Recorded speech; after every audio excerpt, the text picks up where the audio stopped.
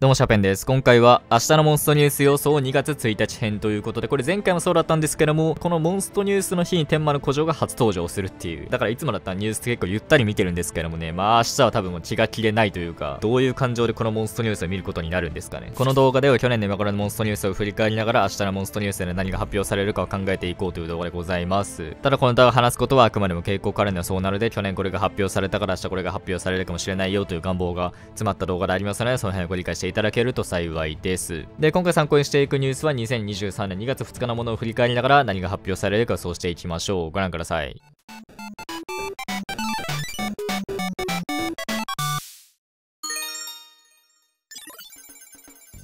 ということで、まずは今週の注意点なんですけども、え超重審査についてと、まあ、現在いつも通りこの月末開催やってるんですけども、まあ、なんと今回も超重審査限定キャラクターの卒業は発表されなかったの。まあ、そもそも新限定キャラクター発表のタイミングでいつも言ってると思うんで、当たり前と言ったら当たり前ではあるんですけども、まあ、新春超重審査終わったら卒業するかなと思ったら未だに12体ですからね。何回も言ってる通り、この限定キャラクターが多いことに関しては、まあ、そんなに悪くない話というか、通常キャラクターが出る枠がこの限定キャラになってるんで、変な通常キャラ引くよりかは限定キャラ引いた方がお得だだと思いますしね、今後の強化もありますからね。ただ確定演出を引いた際のその自分の精神的な話で言うと、まあ誰が出るかわかんないんで、まあその辺はちょっと嫌だっていう人はいるかもしれないですね。でもとりあえず少なくとも来月の開催もこれで行くってことになってるんで、このまま行くとまさか新限定追加予想される、まあ5月頃までは行くんかなと思ってしまうんですけども、ただこれ前例として2022年1月ですね、突如モンストニュースで限定キャラクターの一斉卒業が発表されておりまして、まあそれに伴ってモンストジェネレーションがここから始まったって、これその限定キャラクターと歌っていたものを通常キャラクターにすると何かしらに引っかかるらしいんで、新しいガチャを作ってそこの限定キャラクターにするって措置に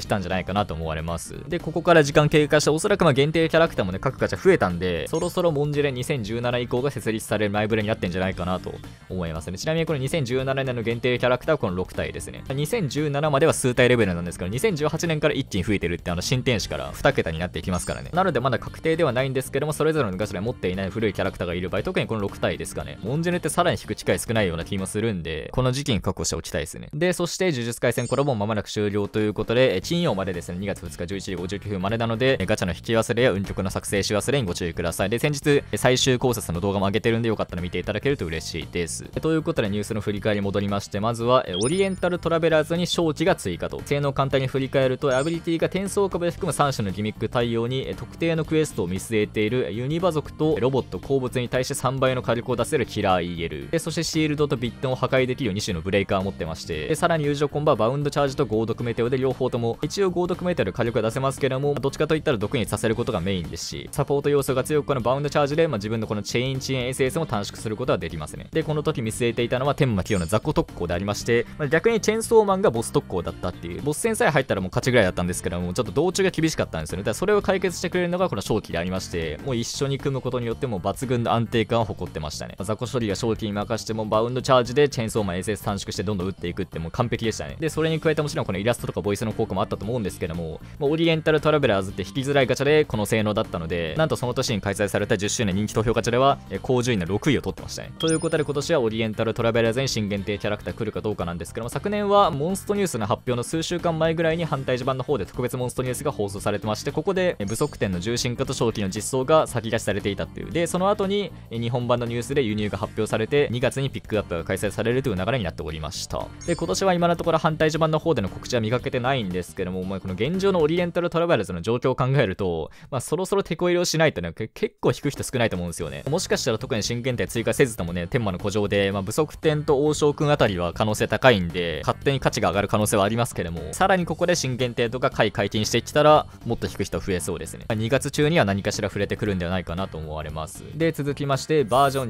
25.2アップデート情報と、ここで発表されたアップデートが、歴戦の跡地に豪絶クエスト1周目を追加と、豪絶ということで難易度また1ランク上がりまして、まあ、登場体験した身からするともう冷絶と一緒ぐらいの難易度でしたね、結局。一生することすら困難だったので、思い出が蘇ってきましたね。で、追憶の職にイベントクエストの追加に加えて、1周目の超究極風のクエストも追加されておりました。で、これに伴って、訓練場にも超究極風の1周目のクエストが追加と。で、あとは細かいですけども、カレンダーにクリアが表示されるようになったので、まあ、自分のクリア状況が分かりやすくなった。で、ニュースでは紹介されていなかったんですけども、このアップデートの注目点というと、まあ、ダメージの表示桁数の変更ですね。まあ、この時までのカンストは9桁の9億までだったんですけども、まあ、このアップデート以降から12桁の9000億まで表示されるようになっておりまして、言ったらもう今のモンストはカンストをしたらもう超のダメージが出てるってことになってますね。で、当時はまたカンストが遠のいたなと思っていたら今でも当たり前出ますからね。まあ、特に今の新重新力を、ね、集めるクエストではめちゃくちゃなダメージ出るんでね、今集めてるよっていう人はちょっと確認してみると、えらいことになってますね、多分。というアップデートが昨年実施されたんですけども、今年の次回のアップデートについてということで、今のところスケジュールに諦め見られていないと思うんで、まあ、多分明日のニュースでは発表ないはずなんですけども、3年前に遡って前回のモンパでは、特別モンストニュースで守護神の森とかの割と大型のアップデートが発表されていましたね。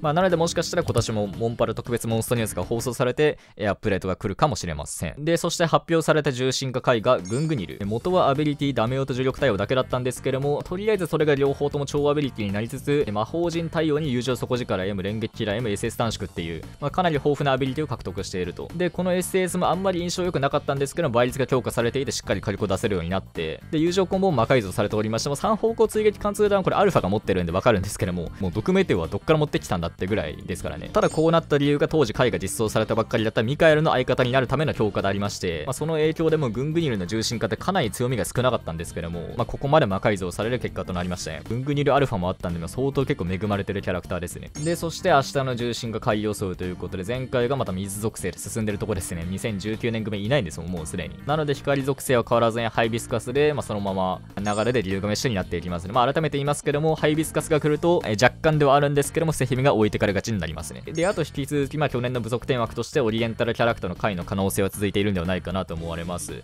まあ、候補としてはフビラやハントがテンペストになっているんですけども、まあ、今の回のペースを考えるとね、2021年組の、まあ、真のとか生死、まあ、特にまあ真のは水属性かぶっちゃうんですけど、生死はワンチャンあってもおかしくないですね。性能的に今の環境と相性良さそうだし、まあ、とりあえずこれは明日の状況を確認したいですね。で、さらに追加の予想としては次回の新イベントということで、呪術廻戦コラボが2月の2日の金曜までの開催なので、明日2月前半のイベントを発表して翌日に即開催って流れになるんじゃないかなと思われます。で、今回やっぱり注目点としてはこの開催中に天魔の古城の空中庭園が初登場することがありまして、ちなみに前回の天魔の古城開催中のイベントでは、あくまでもいける程度でしたけども、天魔級鉄製のマビノリオンが登場していたっていう、だから今回も2月の前半イベントで空中庭園鉄製キャラクター、またあくまでもいける程度かもしれないですけども、いるかもしれないというか、てかいた方が絶対いいですよね。このイベントで登場するキャラクターの性能も注目したいところでございます。で、さらに、モンパナインス追加情報で、おそらく今日登録発表イベントの当たった人おめでとうございます。で、2月の11日に開催されるんですけども、ここでモンストニュースが放送されるんであれば、多分来週のニュースがなくなるんですよね。その分がこの特別ニュースに動いていくって感じになるんで、だから明日の発表でこのイベントのニュースの有無がわかるんじゃないかなと思います。まあ、ぜひ会ってほしいところではありますね。そして最後にニュースには関係ないんですけども、明日降臨する天魔の古城空中庭園の最終予想ということで、適正予想というかもう願望ですね。僕が昨日厳選したキャラクターまとめ的な感じになってるんですけども、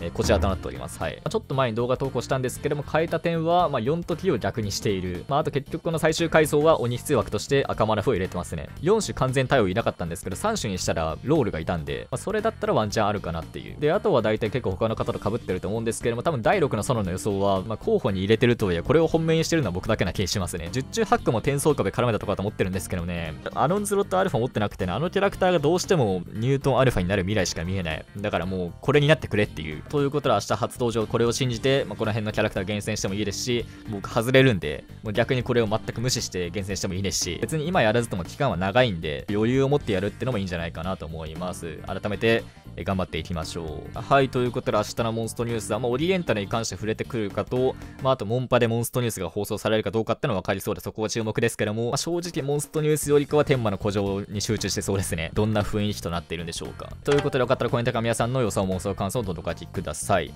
あと、チャンネル登録をしていただけると、こんな感じで動画投稿頑張っていくんでよかったらしていただけると、モチベーションつながりますんでよろしくお願いします。これからもぜひでは、ご視聴ありがとうございました。